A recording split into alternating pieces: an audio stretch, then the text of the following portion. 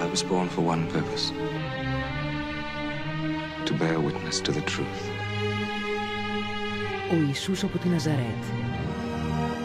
Το αριστούργημα του Φράγκο Τζεφιρέλη που λατρεύουμε. Father, forgive them.